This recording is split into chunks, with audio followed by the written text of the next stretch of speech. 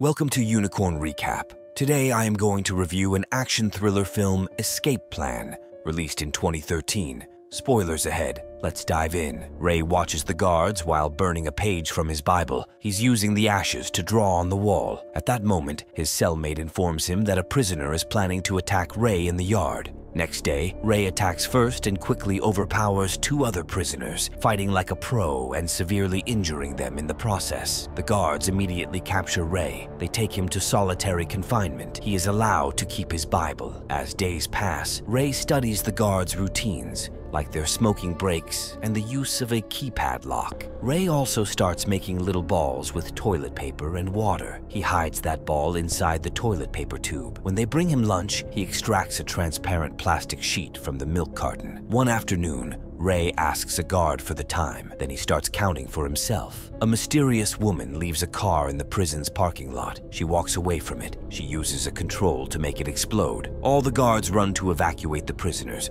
only to discover that Ray has escaped. The fire truck rushes to take care of the fire. Ray is on it dressed as a fireman. He escaped in a vehicle driven by his friends Hush and Abigail, who triggered the explosion. They drop Ray at a store by the road and give him a coin. Ray uses to call a certain number and just say the word showtime. Soon, Ray is surrounded by policemen. They arrested him again. He isn't bothered because his manager Lester is already taking care of it. Lester explains that he and Ray work for a company hired by the government to break out of prisons and expose the flaws in their security systems. Ray has already escaped from 14 prisons and explains how he did this time. He studied the layout and the routines of the guard. He made some enemies on purpose to be sent to solitary confinement. He noticed the prison is understaffed. He was left alone whenever the guards left to smoke. He wrote a letter for his team, hiding the chosen day to escape in code. He also put the plastic sheet on the keypad to get the guard's fingerprints and retrieved it by hiding it in his Bible. The sheet gave him the four numbers. He just had to guess the sequence. He used the paper ball on the door's food hatch to stop it from locking properly. When the guards weren't around, he put his hand out to test combinations until it worked. While the guards were out smoking, Ray came out, rewound the security cameras a few hours to cover his absence. He used the vents to reach the fire apartment right before Abigail started the fire. Now the warden is annoyed but lets Ray go. Sometime later in Los Angeles, Ray helps Hush with some computer problems before meeting CIA representative Jessica. She has a job offer. She explains that the CIA has created a new prison whose location can't be shared with Ray or his team. If he manages to escape from it,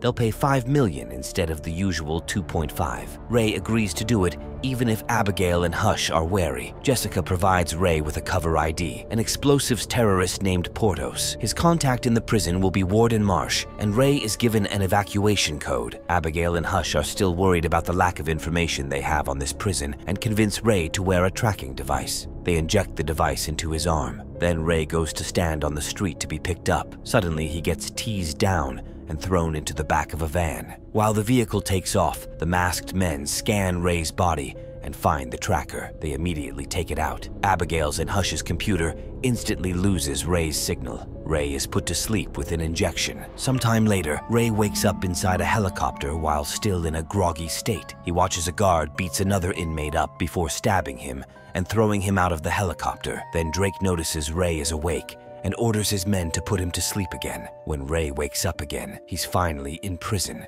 It's nothing like he's ever seen before. All cells are plexiglass cubes hanging in the air, and guards wear black masks to hide their identities. There's also a huge sphere with a camera that moves around to keep an eye on the prisoners. Ray is taken to see the warden. He is a man called Hobbs. Ray become worried because this isn't the warden they told him about. Ray gives out his evacuation code. Hobbs doesn't know what he means and doesn't care. Later, everyone is taken out of their cells for a break. Ray watches how the guards don't hesitate to brutally beat up anyone who doesn't obey them. Prisoners' jumpsuits have a special code on them. They get scanned through every door. At that moment, Hobbs says the name of Ray's fake identity through the speakers. After watching another man getting beat up, Ray is approached by some thugs who want to take advantage of the new guy. Ray immediately breaks the leader's hand and punches him down. Before the others can react, prisoner Emil tells them to back away. Emil tries to befriend Ray and explains he used to work for Mannheim, a powerful man who stole from the rich to give to the poor. Mannheim is a wanted man, but Emil refuses to tell Hobbs anything. However, Ray doesn't care about Emil's story. Meanwhile, Hobbs scolds Drake for killing that inmate since it was a capture for a client.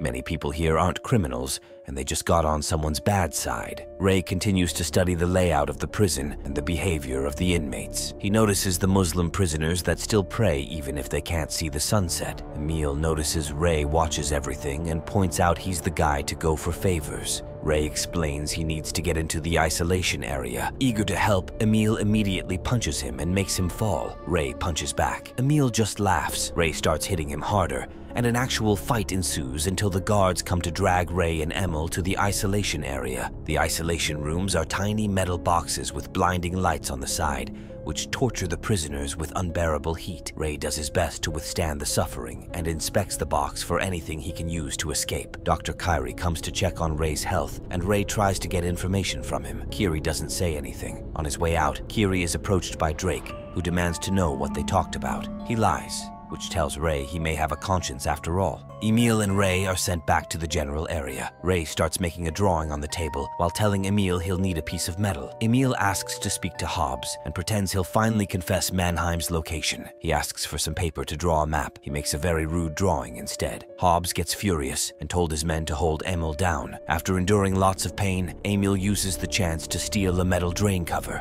Later in the common area, Emil gives the cover to Ray, who tells him his real identity and how he got there. Ray guesses this prison has been built underground and there's something under the box's hatch that should allow him to escape. The place is subterranean.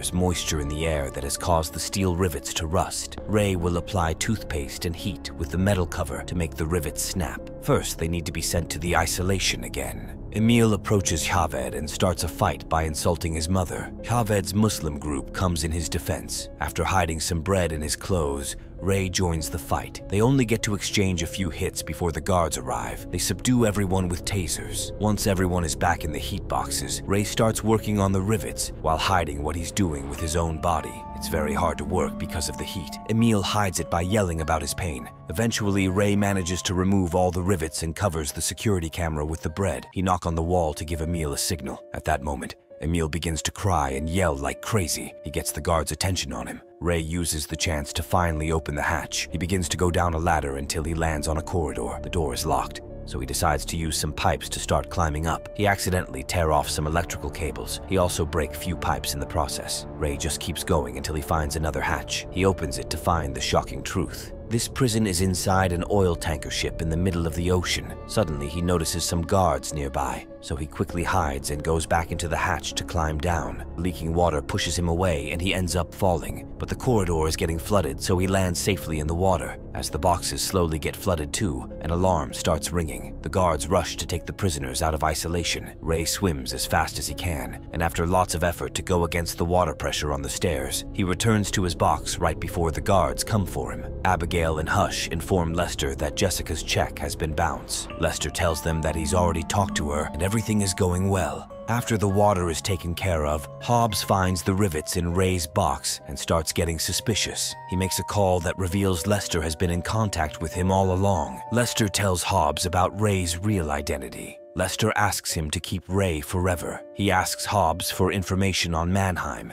because banks all over the world want his head. Ray is trying to sleep, but a guard keeps tapping on his wall to keep him awake. The guard beats him up in the morning as a wake-up call. This starts happening every day. Ray's body begins getting so weak that he can barely move. Emil gives him as many pep talks as possible to keep up Ray's spirit. Ray ends up sharing his story. He used to be a prosecutor. A criminal he sent to jail escaped and killed Ray's family for revenge. The drawing Ray is making is the last memory of his kid. Since then, he makes sure criminals won't escape ever again. For the next few days, Ray studies the guard's routine to find any useful habits. He starts to assign names to them by differencing them through body shapes. To start making a plan, he first needs to know where they are. There were no landmarks when he went out. One day during lunch, Emil discreetly stabs Ray. He's taken to Kyrie's office for stitches. Ray suddenly pretends that he's in great pain and falls. He used the chance to steal a few things from a tray. He also reminds Kyrie of his oath, but the doctor still ignores his questions. When Ray returns to the common area, Emil gives him a pen and a prisoner's glasses. Hiding his hands under the table, Ray builds a sextant, which should help them determine where they're based on the stars. Drake and Hobbs notice weird movements on the security camera, so Hobbs asks to see Ray. Fortunately, he hides the tool before he's dragged away to a new section.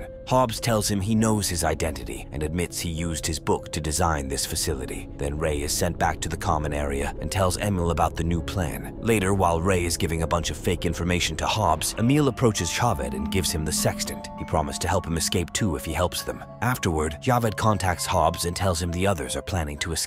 Hobbs agrees to buy his information by letting him pray in open air as his beliefs demand. This is all part of the plan. That night in his new cell, Javed uses the sextant to get the coordinates of their location. The next day over lunch, Javed gives his notes to Ray. He puts it together with things like the weather he felt when he was out, the date mentioned by a newbie, and the direction the water goes down in the toilet. Ray concludes that they're near the coast of Morocco. Ray swallows some clothing powder to get sick. He's sent to Kyrie's office. He tells the doctor to go to Hobbs's office and read a passage on a particular page in a certain book. After some hesitation, Kyrie checks the book and finds the Hippocratic Oath. The next day, Kyrie asks the guards to bring Ray to his office for a checkup. He wonders how Kyrie knew the exact page, and Ray explains he wrote it, which confirms his identity. He finally convinces Kyrie to help. Afterward, Ray gives Hobbs a fake location to find Mannheim. They have 24 hours to escape before Hobbs catches on. As part of the plan, Javed also meets with Hobbs and tells him about the incoming escape. Hobbs rushes to check the cameras and notices Ray tapping on his cell wall. Recognizing Morse code, they discover a message about a plan to riot in Block C during transfer. Meanwhile, Kyrie is sending a coded email to request help. After most of the guards are sent to Block C, Javed starts a riot in the common area. It soon becomes absolute chaos. Hobbs tries to make his men change areas quickly. Ray, Emil, and Javed rush to knock down the few guards around them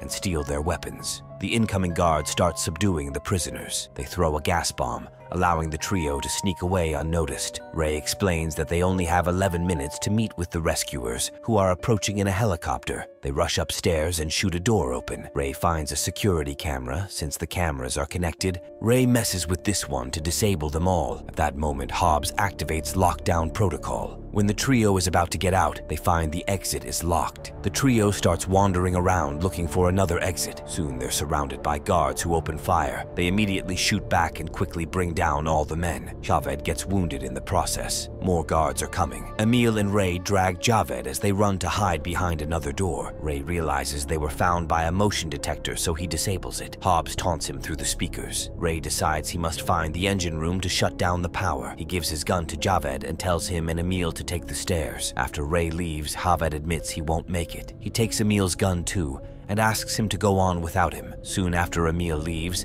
Javed is surrounded by guards. Bravely makes sure to shoot all of them down. He's brought down by a hidden shooter. When Hobbs finds him, Javed says his last words to his before he's killed. Meanwhile, Drake goes after Ray in the engine room. Ray jumps around and runs to dodge Drake's bullets. He manages to surprise him from behind. In the struggle, Drake loses his gun, takes out a knife, and a hand-to-hand -hand fight ensues. After exchanging a few hits, Drake chokes Ray for a few seconds. He start to kick him down. Ray grabs his leg to overpower him and get the fighting going again. Both men steal a few tools to use as weapons. After exchanging a few hits, Ray pushes Drake down the stairs and kills him. Ray rushes to the control panel. He knocks out the technician and turns off the ship's generators. All lights go out in the ship and the doors open allowing Emil to come out. At that moment, a helicopter opens fire on the ship before landing on the deck. Few men come out to start a gunfight with the guards. Emil sneaks around while avoiding bullets and makes it to the chopper. One of the soldiers has been shot down. The pilot wants to take off, but Emil asks him to wait for Ray. He takes over a machine gun to join the fight. He kills dozens of guards in seconds. In the engine room, Hobbs is looking for Ray, who is hiding inside a water tank. At that moment, the guards turn the ship's systems back on. Emil has no choice but to leave with his guys in the helicopter. Ray's tank starts filling with water, but before he gets drowned, the tank automatically flushes itself and expels Ray into the ocean. He immediately swims to the surface. Emil throws a ladder down for him. He climbs up. Hobbs and the guards open fire on them. Emil gives Ray a gun, and they both fire back until Emil gets wounded in the shoulder. Hobbs keeps missing his moving target. Ray uses the chance to shoot a bunch of oil tanks, causing a big explosion that kills Hobbs. The helicopter drops the duo on the Moroccan beach, where they're picked up by Jessica. It turns out that Emil is Mannheim, and Jessica is his daughter. She hired Ray to get her dad out of prison. She also confirms that Lester is doing dirty and betrayed her too. Sometime later, Ray reunites with Abigail, who has information on Lester. He had been offered to be CEO of the prison program if Ray was unable to get out. Now Lester is trying to get away, but Hush is waiting for him in his car and quickly knocks him out. When Lester wakes up, he discovers his car is inside a container on top of a ship in the middle of the ocean.